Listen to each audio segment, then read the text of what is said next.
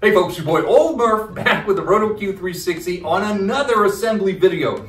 This has been a day of assembly. So here we are with the Roto Q360, the one that started it all, the one that made us who we are today, and we have you to thank. So, not much has changed. This is the basic set. Not much has changed. And I'm just gonna quickly walk through how you set it up. First of all, look how convenient, small. This is going in your, your, your drawer, your shelf, your cupboard, whatever the case may be. So, simply fasten in your Roto Q360, like so. Four clips, two to a side.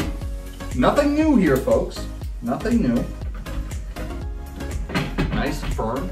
Here we go. Here's the brains of the operation. This is the power core.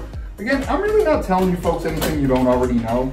This is just this is this is the, this is the new version. This everything is high quality stainless steel embossed logos. this one came out. Just real nice. Something I'm very proud of through trial and tribulation. We've modified the Roto 360 so you see the bottom is open. This can now go on the outdoor grill.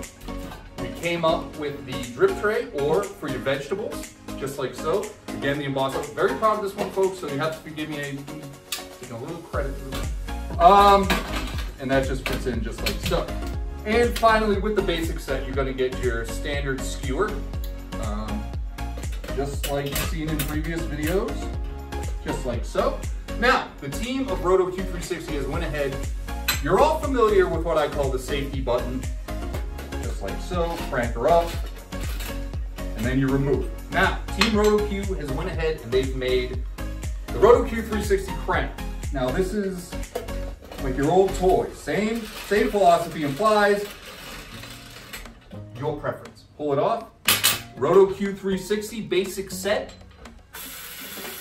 Listen to the magic, folks. Team RotoQ. And again, thank you so much, folks. Please like, subscribe, questions, comments, anything. We really appreciate it. This is coming your way. Expect deliveries anytime now. Um, my director is, I don't know, I'm ignoring. But thank you, folks. don't thank me. Thank RotoQ 360. Ah, no battery, no gas, no fuel.